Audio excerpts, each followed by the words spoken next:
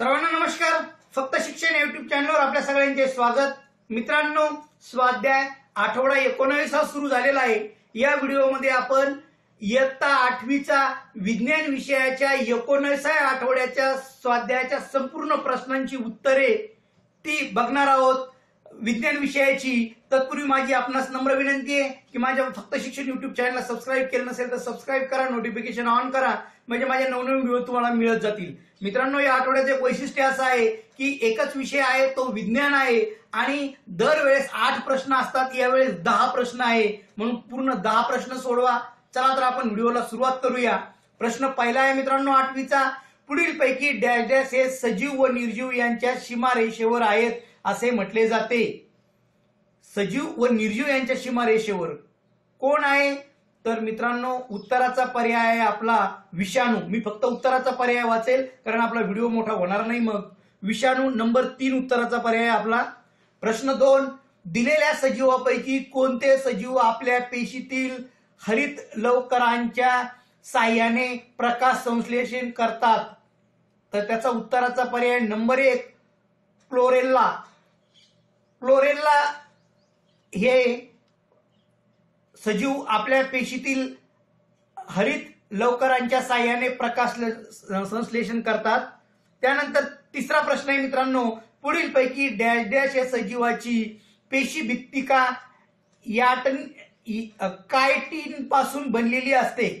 Chitin पासून बनलेली असते. त्याचं उत्तर आहे तीन नंबरचा पर्याय कौके. कौके या सजीवांची पेशी भित्तिका कायटीन पासून बनलेली असते. प्रश्न चार खालीलपैकी कोणते आदिजीव हे आमांश होण्यास कारणीभूत असतात? खालीलपैकी कोणते आ- आदिजीव हे आमांश होण्यास कारणीभूत असतात? तर उत्तराचा पर्याय दोन नंबर एंटामिबा हिस्टोलिटिका. दोन नंबर उत्तराचा पर्याय मित्रांनो. त्यानंतर प्रश्न पाचवा गटातील वेगळा सजीव कोणता? गटातील वेगळा सजीव कोणता? तर याचा उत्तराचा पर्याय आपला चार नंबर युग्लिना. युग्लिना हा गटातील वेगळा सजीव आहे मित्रांनो. प्रश्न सहावा खालीलपैकी कोणता रोग संसर्गजन्य नाही? प्रश्न समजून घेजा संसर्गजन्य नाही असं म्हटलेलं आहे. कोणता रोग? तर हे सगळे संसर्गजन्य आहेत. कॉलरा विषमज्वर आणि अतिसार. मधुमेह हा जो रोग आहे मित्रांनो हा संसर्गजन्य नाही. त्यानंतर प्रश्न सातवा चुकीची जोडी ओळखा. चुकीची जोडी ओळखायची आपल्याला. आता इथं मी सगळे पर्याय वाचावं लागेल. बघा क्षय थुंकीतून रक्त पडते. क्षयरोगामध्ये बरोबर आहे. पटकी पायाला पेटके येणे हे पण बरोबर आहे.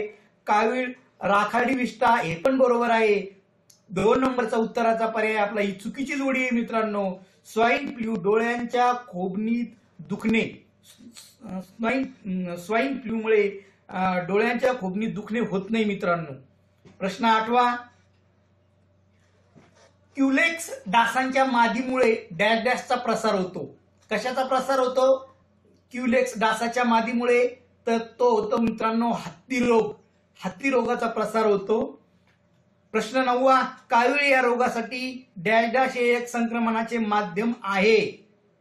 कावीळ या रोगासाठी डॅश डॅश हे संक्रमणाचे माध्यम आहे आणि त्याचा उत्तराचा पर्याय दोन नंबर रक्त पराधान रक्त पराधान आणि दहावा प्रश्न आहे आपला रेबीज या रोगाचे महत्त्वाचे लक्षण हे आहे. रेबीज या रोगाचे महत्त्वाचे लक्षण डॅश डॅश हे आहे. कोणते आहे मित्रांनो? दोन नंबरचा उत्तराचा पर्याय आहे जलद्वेष.